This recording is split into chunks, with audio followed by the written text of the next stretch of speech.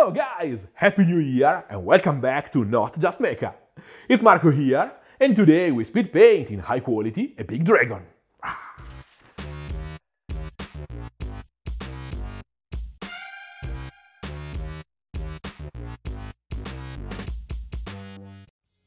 If you are like me, after the holidays you have a bunch of new grey plastic on the table and a ton of crazy ideas in mind. So let's stretch the speed painting muscles to jumpstart the new year of modeling with a simple project and a good dose of instant gratification. Even if uh, this looks like a complex paint job, this uh, big guy took me less than 5 hours of work. Sure, the model is huge, with a lot of large, open surfaces full of details. But even in uh, the official box art, when it comes to colors, you can see that the scheme is based on just two main tones, with a splash of gold on the few pieces of the armor. So the real amount of visual information to deliver is uh, quite contained and simple to plan out in advance for maximum efficiency. And frankly, these big, organic, flowing shapes make it quite easy and forgiving to handle. Especially when you have me showing you all the crazy shortcuts and dirty tricks. Don't forget to drop a like to help the diffusion of this video and the channel, and of course subscribe to join my painting journey in every corner of the hobby. And if you want to support my work, check my Patreon page, where you can find articles, extra material, and the real-time footage of my videos, with every single little line and brushstroke. Thanks a million, guys! I start immediately cutting a big boring corner. We tend to put the priming stage into the same realm of building, cleaning, and preparing the model for painting. But since there are paints and colors involved, I consider it as the first stage of my painting process, and I always adapt it to the needs of the result I want to achieve. Here I want to push on the richness, depth, and general complexity of the local colors, so, a black base would not be an ideal starting point for a progression based on vibrancy and flowing, highly chromatic shades. But I can still use a relatively dark value as a starting point for the general contrast, and all the value modeling of the three-dimensional shapes. From the chromatic point of view, I use violet because it's a warm hue that will create a nice contrast with the cold tones I'll use in the lights to sell the idea of the late winter, early spring setting but not too warm, to avoid putting you off from the idea of the general cold environment. And at the same time, it's a great foundation both for a progression into orangey skin tones and moving on the other side of the color wheel, blue hues. A classic uh, win-win-win situation. And I prime the base in black, because it is a great base for the greyish rubble and stones, and the stark contrast I imagine between uh, the ground and the white snow. I start building up the progression for wings and softer skin using a natural brownish red. It's a short, gentle step into warmer and lighter territories, and I apply it in a loose way to let some of the violet show through this layer. This creates the base for a realistic random pattern, especially on the wings. And since I'm working with highly covering opaque paints, I can extend a bit the edges of this application to be sure to frame well all the areas of light skin. And then maybe shrink them later with the covering blue layers. With the next application, I keep climbing the chromatic and value scale using a deep warm orange. Every new layer is less and less solid and opaque, to keep the information of all the tones underneath, quickly building up a ton of visual complexity. At this point of the channel's life, this probably doesn't need to be said, but every video is someone's first video. So I want to point out that uh, this whole process is not about uh, specific tools and paints, but about tones and how they are interacting. So you can totally do the same with a soft, dry brushing for example or a light, semi-transparent layering with a brush. The most interesting bit here is the patchy application on the wings that I use to simulate the irregular thickness of this uh, stretched skin, and the different levels of transparency that let you see some of its depth against the imaginary light, and maybe the blood running underneath.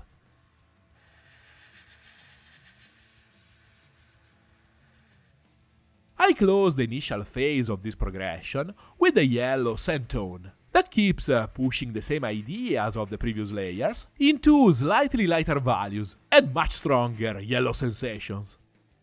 This step is here more for tones than values, and later the skin will get a couple of extra layers that will provide a more powerful luminosity, but they will be more efficient, and they will look better, if layered in between this base and the blue parts of the skin.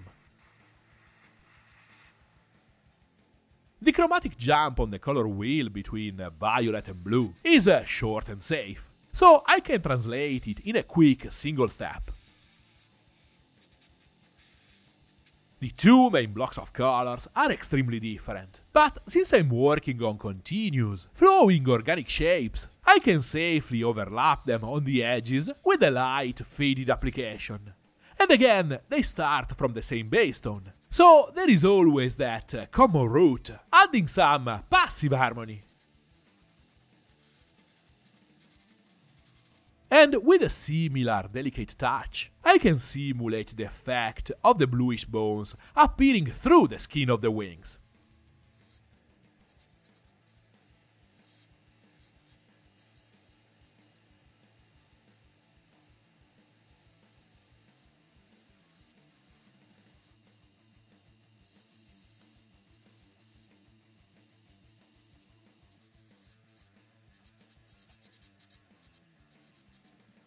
Even if uh, subtle and localized, the contribution of Violet is still there, as a gentle modulation of the dark parts.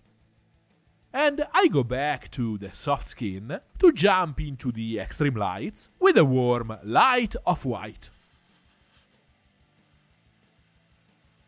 I lose saturation to get luminosity, but soon you'll see how this choice fits into the bigger plan and how at the end I get both to their maximum levels.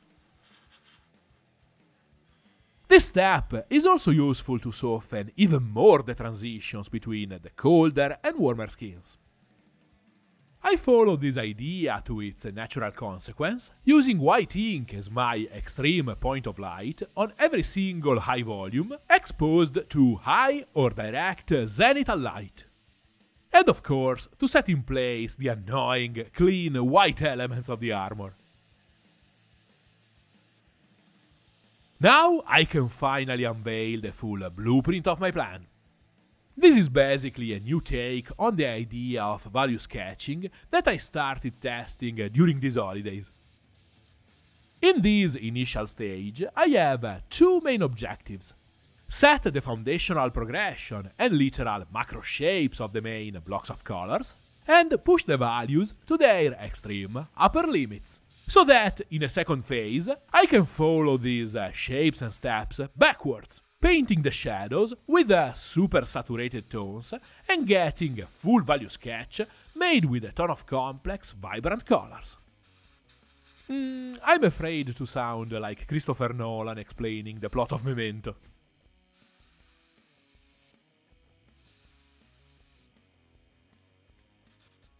But first, I want to set the metallic parts, so they can also benefit from the shading stage.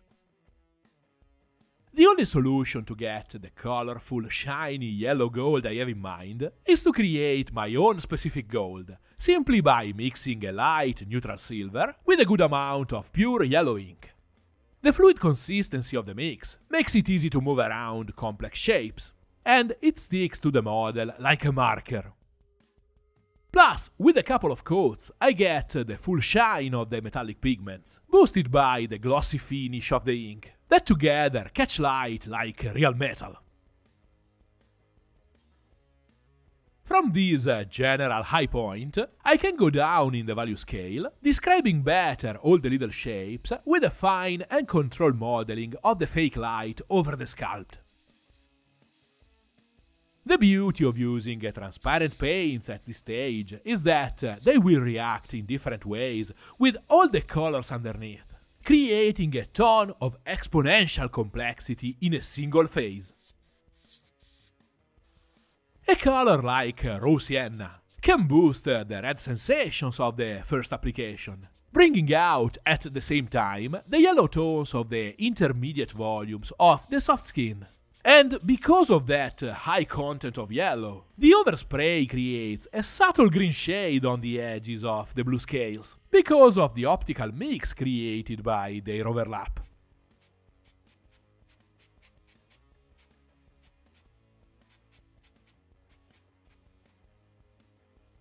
I follow this tendency of the blue skin, moving into phthalo green, yellow shade, that pushes on the warm green-yellow shades of this part of the scheme.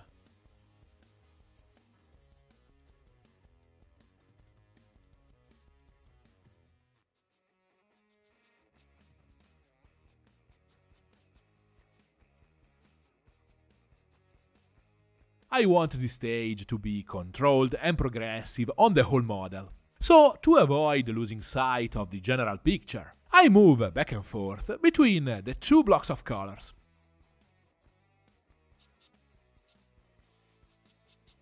A darker and more reddish brown is what I need to follow my steps back on the color wheel.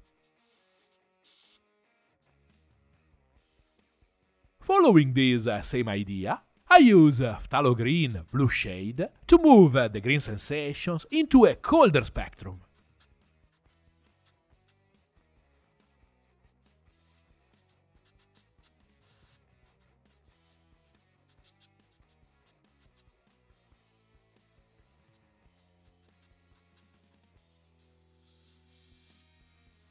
And then turquoise to properly enter into the blue territory.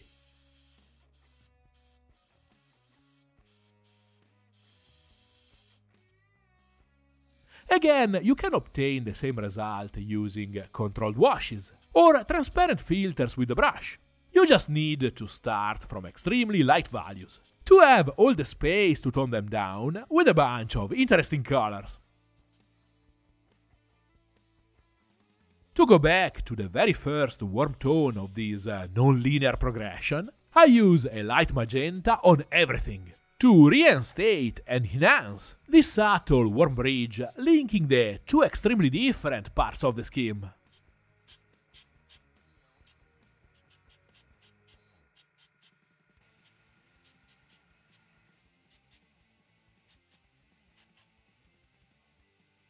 And uh, with this uh, foundation in place, I can close the shading with a proper dark violet, to finally mark the lowest and uh, darkest point, for now, of my general contrast. In the opposite way of the first opaque application, I lose a bit of luminosity to get extra tones and saturation, but again, this is totally part of the plan. I need that potential space to work on the light definition with the brush, so I can switch the blurred extreme high values with sharp and controlled extreme high values. But first, I have to take care of the macro smoothness of all my micro progressions, and even more important, of all the sharper dark definition. And this is a work for oil paints. Since I don't want them to affect too much the general tones, I seal the model under a coat of satin varnish. I never really use varnish for protection, and its main use in my workflow with oils is to control their behavior and the impact on the previous acrylic layers. Matte varnish where I want a strong, diffused, gritty adhesion. Gloss varnish where I want precise panel lines and sharp localized effects. Check this video up here. And satin varnish, well, when I need uh, something in between. The oil palette, and frankly the whole process, is extremely simple and fun. I use a dark mix of black, brown and magenta as a light, thin, translucent filter over the whole warm skin.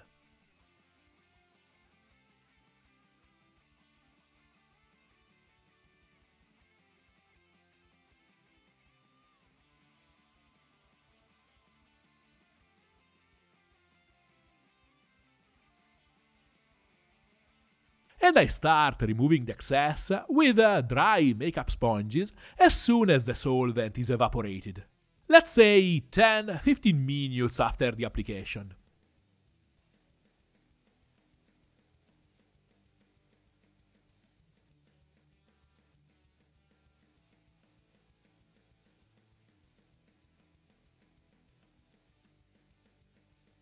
And I do the same on the cold skin using a mix of black and blue oil paint. I kept the two stages separated only because this model is huge. And working on a single color at a time, the process is uh, less messy and easier to handle on the table.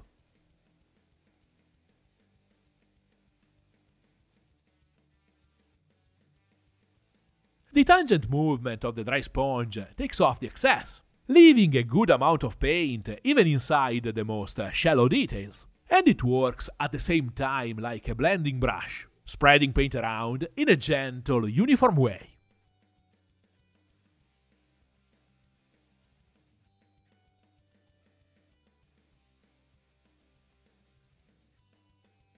I use precisely this idea after the first application and clean, when I apply the warm mix into the deeper shapes and under the lower undercuts to enhance the color pattern set from the beginning.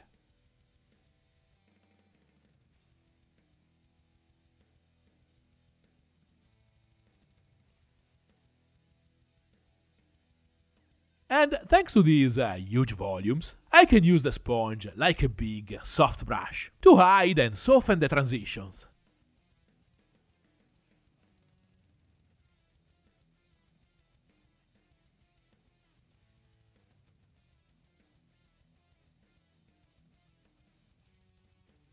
And here is my favorite step. A dry sponge can take off only a certain amount of paint, and a lot of color is only spread on the model as a super thin transparent layer, but it is still there. It remains on the surface because of the satin varnish and its intermediate ability to absorb and retain paint. And in part simply because uh, if you really want to remove uh, solvent-based paint, well, you need the solvent.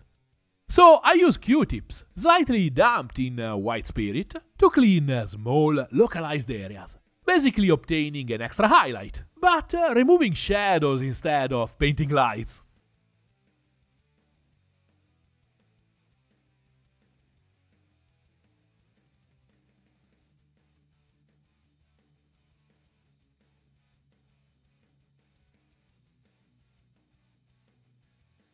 Even cooler, I can also create strange, complex effects, simply moving around the thin layer of active paint.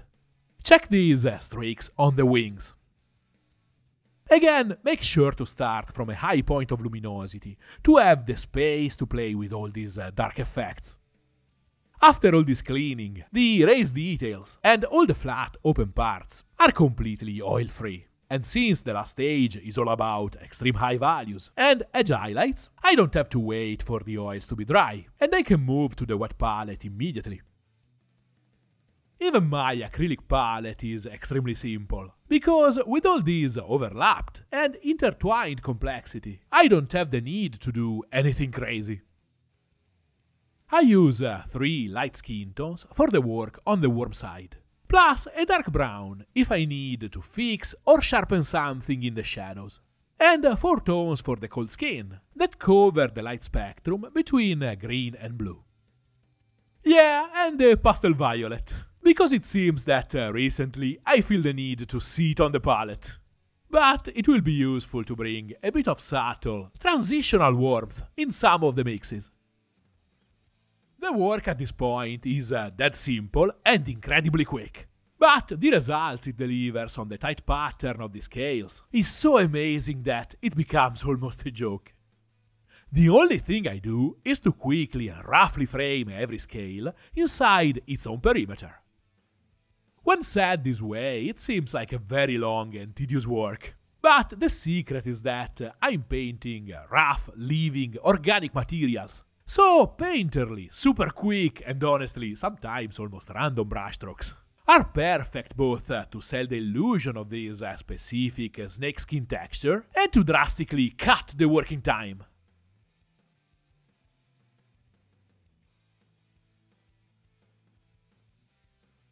For example, this is literally all I do on the wings.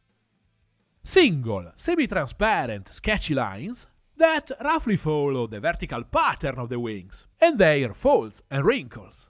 And it's enough.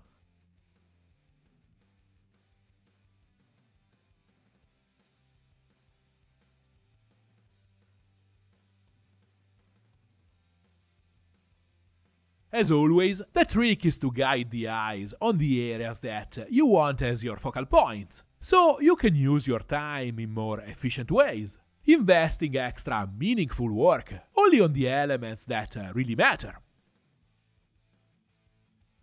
The work on the back, lower part of the legs, is extremely quick and dirty, for example. A stage of really a couple of minutes. But I want natural focal points like face and upper torso to be extremely sharp and well rendered.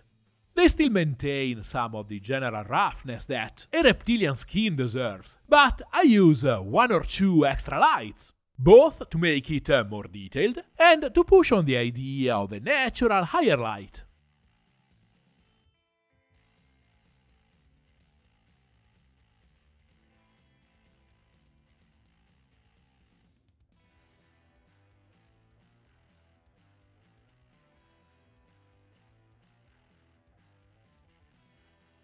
Similar idea in the back. I add one or two extra lights on scales and muscles above the shoulder blades to establish a stronger contrast, a more progressive gradient for the light, and a more in focus image of the part. But everything else is defined by a simple, irregular, thin line around the edges.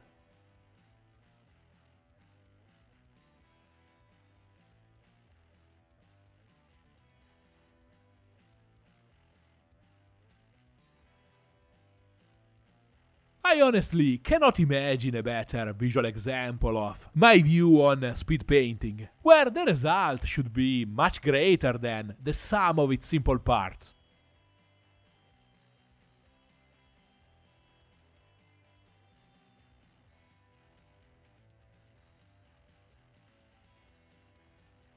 Same attitude working on the definition of the metallic armor. I use a single light gold straight from the pot to add edges, little cuts, dents and fine battle damages with short, thin brushstrokes. And these simple touches add a whole new dimension and sharpness to all the cumulative work of the previous stages.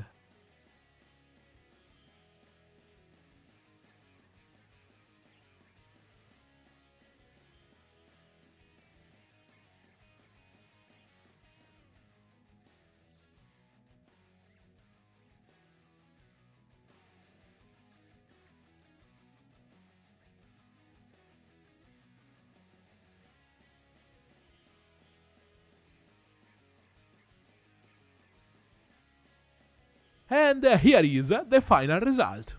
5 hours of work for one of the biggest GW creatures of the last few years. A ton of relaxing fun perfect for the winter holidays, and more important, a new alternative chromatic take on quick value sketching that now I really want to test under different starting conditions and on several different sizes and scales, because I believe it can be pushed into interesting new territories. The visual complexity you can obtain with this uh, fluid back and forth of tones and values is amazing. Even before oils and the work on the wet palette, I have in place more than a dozen of different tones, applied in the most obvious and simplistic way, but working in a deep, final, harmonious concert. So stay tuned, because uh, this will be an interesting year.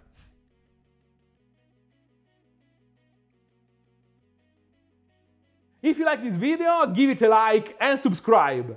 Remember that you can ask me anything down below with a comment, and you can follow my projects during the week using one of my socials. And if you want to support my work, check my Patreon page and join the community, or maybe ask for a commission. See you next week, guys!